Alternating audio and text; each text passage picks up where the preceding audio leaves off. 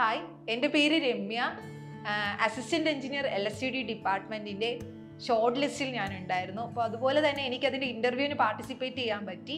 അപ്പോൾ അതിന്റെ ഒരു എക്സ്പീരിയൻസ് ഷെയറിംഗ് ആണ് ഈ വീഡിയോ ആക്ച്വലി എനിക്ക് എട്ടാം തീയതി മാർച്ച് എട്ടാം തീയതി തിരുവനന്തപുരം പി എസ് സി ഓഫീസിൽ വെച്ചായിരുന്നു ഇന്റർവ്യൂ എട്ട് മണിക്കും എട്ട് മണിക്ക് വെരിഫിക്കേഷനും ഒമ്പതരയ്ക്ക് ഇന്റർവ്യൂ എന്ന ഷെഡ്യൂളായിരുന്നു എനിക്ക് കിട്ടിയത്. അപ്പോൾ ഇന്റർവ്യൂവിന് എത്തുന്നതിന് മുമ്പേ തന്നെ ഞാൻ കുറച്ച് പ്രിപ്പറേഷൻസ് ഒക്കെ ചെയ്തിരുന്നു. മെയിനായിട്ട് നമുക്ക് ഒരാഴ്ച മുമ്പേ തന്നെ പ്രൊഫൈലിൽ ഒരു ഇന്റർവ്യൂ മെമ്മോ വരും. അപ്പോൾ അതിനകത്ത് നമുക്കൊരു നമ്മുടെ ബയോഡാറ്റ ഫില്ല് ചെയ്യാനുണ്ട്. ബയോഡാറ്റ ഞാൻ ഫില്ല് ചെയ്തിരുന്നു. അതുപോലെ തന്നെ നമ്മൾ ഇന്റർവ്യൂ വെരിഫിക്കേഷന്റെ സമയത്ത് നമുക്ക് കൊണ്ടുപോകാനുള്ള ഓൺ ടൈം വെരിഫിക്കേഷൻ സർട്ടിഫിക്കറ്റ് വേണം. അതുപോലെ തന്നെ നമ്മൾ എന്തൊക്കെ സർട്ടിഫിക്കറ്റ് പ്രൊഫൈലിൽ അപ്ലോഡ് ചെയ്യുന്നുണ്ടോ ആ സർട്ടിഫിക്കറ്റ്സിന്റെ ഒറിജിനൽ കോപ്പിയൊക്കെ എടുത്ത് സെറ്റ് സെറ്റ് ചെയ്തു. രാവിലെ എട്ട് മണിക്കായിരുന്നു വെരിഫിക്കേഷൻ അപ്പോൾ പി എസ് സി ഓഫീസിൽ ഒരു ഏഴരയ്ക്ക് തന്നെ എത്തി. അപ്പോൾ ഒത്തിരി സ്റ്റുഡൻസ് ഒക്കെ വന്നിട്ടുണ്ട് ഇന്റർവ്യൂവിന് അപ്പോൾ ഞങ്ങൾ ആദ്യം അവർ പാനലായിട്ട് തിരിച്ചു. ഓരോ ഓരോ സെക്ഷനായിട്ട് തിരിച്ചു. അപ്പോൾ എന്നിട്ട് നമ്മളെ ക്രമ നമ്പർ അനുസരിച്ചായിട്ടായിരുന്നു വെരിഫിക്കേഷൻ സ്റ്റാർട്ട് ചെയ്തത്. അപ്പോൾ ഏഴ് കറക്റ്റ് എട്ട് മണിക്ക് തന്നെ വെരിഫിക്കേഷൻ സ്റ്റാർട്ട് ചെയ്തു. അതുപോലെ തന്നെ ഒമ്പതരയ്ക്ക്. അപ്പോൾ ആ ടൈമിൽ തന്നെ നമ്മുടെ ബയോഡാറ്റയൊക്കെ അവർ കളക്ട് ചെയ്യും. പിന്നെ ഒമ്പതര ആയപ്പോഴേക്കും ഇന്റർവ്യൂ നടക്കുന്ന സ്ഥലത്തേക്ക് കൊണ്ടുപോയി. അപ്പോൾ നമ്മുടെ ക്രമൻ നമ്പർ അനുസരിച്ചിട്ടാണ് ഇന്റർവ്യൂവിന് പോകുന്നത്. അപ്പോൾ ആക്ച്വലി എനിക്ക് ഏകദേശം സെക്കൻഡ് ലാസ്റ്റ് ആയിരുന്നു എന്റെ ക്രമ നമ്പർ അപ്പോൾ നമ്മൾ അതുവരെ അവിടെ പുറത്ത് വെയിറ്റ് ചെയ്യണം. വെയിറ്റ് ചെയ്യുന്ന സമയത്ത് നമ്മുടെ മൊബൈൽ ഫോൺസ് ഒക്കെ സ്വിച്ച് ഓഫ് ആക്കി വെച്ചിരിക്കണം. മൊബൈൽ ഫോൺ യൂസ് ചെയ്യാൻ പാടില്ല. അതിനുശേഷം നമുക്ക് വേണ്ടുന്ന പ്രിപ്പറേഷൻസ് ഒക്കെ നടത്താം. അപ്പോൾ നമ്മുടെ സ്ലോട്ട് എത്തുമ്പോഴേക്കും നമുക്ക് ഇന്റർവ്യൂ പാനലിലേക്ക് പോവാം. അപ്പോൾ നം ഇപ്പോൾ എനിക്ക് ഇന്റർവ്യൂ പാനലിൽ മെയിനായിട്ട് രണ്ട് പേരാണ് ഉണ്ടായിരുന്നത്. ഒന്ന് പി എസ് സി മെമ്പറും പിന്നെ മറ്റേത് ടെക്നിക്കൽ സൈഡിൽ നിന്ന് ഒരു അസിസ്റ്റന്റ് പ്രൊഫസർ ഒരു മാമും ആയിരുന്നു. അപ്പോൾ ഞാൻ മാമിനെ വിഷ് ചെയ്തുകൊണ്ട് ഉള്ളിലേക്ക് കയറി ഒരു സീറ്റ് തന്നിട്ടുണ്ട്. അപ്പോൾ അവിടെ കംഫർട്ടായിട്ട് ഇരുന്നു. ഫസ്റ്റ് എന്നോട് എല്ലാ ഇന്റർവ്യൂവിലും ഉള്ളതുപോലെ തന്നെ സെൽഫ് ഇൻട്രൊഡ്യൂസ് ചെയ്യാൻ പറഞ്ഞാണ് സ്റ്റാർട്ട് ചെയ്തത്. അപ്പോൾ ആ സമയത്ത് സാറ് ബയോഡാറ്റ ചെക്ക് ചെയ്യുന്നുണ്ടായിരുന്നു. അപ്പോൾ ബയോഡാറ്റയിൽ നിന്ന് ചെറിയ ക്വസ്റ്റ്യൻസ് ഒക്കെ ചോദിച്ചു. അതായത് ഹോബീസ് എന്തൊക്കെയാണ്? അതുപോലെ തന്നെ എവിടെയാണ് പഠിച്ചത്? അങ്ങനത്തെ ക്വസ്റ്റ്യൻസ് ഒക്കെ ചോദിച്ചു. അതിനുശേഷം ജനറൽ ക്വസ്റ്റ്യൻ ചോദിച്ചു. അപ്പോൾ എന്നോട് ചോദിച്ചത് മെമ്പർ ഓഫ് പാർലമെന്റ് ആരാണെന്നാണ്. അപ്പോൾ അങ്ങനത്തെ ക്വസ്റ്റ്യൻ ചോദിച്ചു. അതുപോലെ തന്നെ എന്റെ അംബീഷൻ ഞാൻ to become a good civil engineer എന്നാണ് എഴുതിയിരുന്നത്. അപ്പം സർ അത് സ്പെസിഫൈ ചെയ്ത് പറഞ്ഞിട്ട് ഒരു ഗുഡ് സിവിൽ എഞ്ചിനീയറിന് വേണ്ട ക്വാളിറ്റീസ് എന്തൊക്കെയാണ്? അപ്പോൾ അങ്ങനെ ചോദിക്കുകയുണ്ടായി. അപ്പോൾ ഇന്റർവ്യൂ പെർഫോം എഴുതുമ്പോൾ നമ്മൾ മെയിനായിട്ട് നമ്മുടെ ജെനുവിനായിട്ട് കാര്യങ്ങൾ എഴുതുക. കാരണം അതിലൊന്ന് ക്വസ്റ്റ്യൻസ് ചോദിക്കും. അപ്പോൾ എനിക്ക് അങ്ങനെയാണ് ഫീൽ ചെയ്തത്.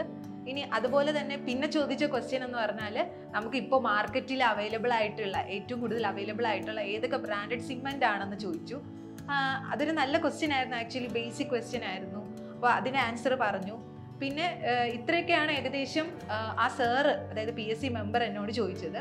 അതിനുശേഷം മാം ആയിരുന്നു ചോദിച്ചത്. അപ്പം മാം ഫസ്റ്റ് തുടങ്ങിയത് എം ടെക്കിൽ സ്പെഷ്യലൈസേഷൻ എന്താണ്? അപ്പോൾ എല്ലാവരെയും പോലെ എന്റെ സ്പെ- ഞാനെന്ന് പറഞ്ഞാൽ ഫിനാൻഷ്യലായിരുന്നു ചെയ്തത്. അപ്പോൾ ഞാൻ മിക്കവാറും ഇന്റർവ്യൂവിലൊക്കെ പോകുമ്പോൾ പ്രതീക്ഷിക്കുന്ന കുറച്ച് ക്വസ്റ്റ്യൻസ് ഉണ്ട്. അപ്പോൾ മാം പക്ഷേ കുറച്ചും കൂടി ഡീപ്പായിട്ട് ചോദിച്ചു. ഫിനാൻഷ്യൽ നമ്മൾ എന്താണ് പഠിക്കുന്നത്? അതിന് എന്താണ് റിലവൻസ് അപ്പോൾ അങ്ങനത്തെ കാര്യങ്ങളൊക്കെ ചോദിക്കേണ്ട. ഏതൊക്കെ ടെക്നിക്സ് ആണ് യൂസ് ചെയ്യുന്നത്?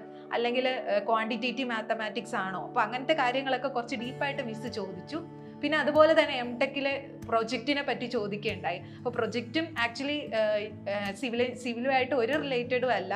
ഇറ്റ്സ് കംപ്ലീറ്റ്ലി ഫിനാൻഷ്യൽ ആണ്. ബട്ട് മാം അതിലൊന്നും ക്വസ്റ്റ്യൻ ചോദിച്ചു. അതിന്റെ റിലവൻസും അല്ലെങ്കിൽ ഇമ്പോർട്ടൻസ് എന്താണ്? അങ്ങനത്തെ ക്വസ്റ്റ്യൻസ് ചോദിച്ചു. പിന്നെ ചോദിച്ചത് ടെക്നിക്കലി ഉള്ള ക്വസ്റ്റ്യൻസ് ആയിരുന്നു. കൂടുതലും ട്രാൻസ്പോർട്ടേഷനിലെ ക്വസ്റ്റ്യൻ ആണ് ചോദിച്ചത്. ഓവർലേ എന്താണ്? പിന്നെ റോട്ടറി ഐലൻഡിന്റെ ഇമ്പോർട്ടൻസ് എന്താണ്? അല്ലെങ്കിൽ ഏതൊരു സിറ്റുവേഷനിലാണ് നമ്മൾ റോട്ടറി ഐലൻഡ് പ്രൊവൈഡ് ചെയ്യുന്നത്? പിന്നെ സ്മൂത്ത് മൂവ്മെന്റ് ഏതാണ്? അപ്പോൾ അങ്ങനത്തെ ക്വസ്റ്റ്യൻസ് റൗണ്ട് അബൌട്ടിനെ കുറിച്ച് ചോദിച്ചു. ഇത്തരത്തിലുള്ള ക്വസ്റ്റ്യൻസ് ഒക്കെ ചോദിക്കുകയുണ്ടായി അവസാനമായിട്ട് മാം എന്നോട് ചോദിച്ചത് എൽ എസ് സി ഡി ഡിപ്പാർട്ട്മെന്റിനെ കുറിച്ചാണ്. അതായത് ഡിപ്പാർട്ട്മെന്റിലെ മിനിസ്റ്റർ ആരാണ്? പിന്നെ കറന്റ് യൂസ് ചെയ്യുന്ന സോഫ്റ്റ്വെയർസ് ഏതൊക്കെയാണ്? അപ്പോൾ അങ്ങനത്തെ കാര്യങ്ങളൊക്കെ ചോദിച്ചു. അപ്പോൾ മെയിനായിട്ട് എന്നോട് ഇന്റർവ്യൂ ഇന്റർവ്യൂവിന് ഇത്രയും കാര്യങ്ങളാണ് ചോദിച്ചത്.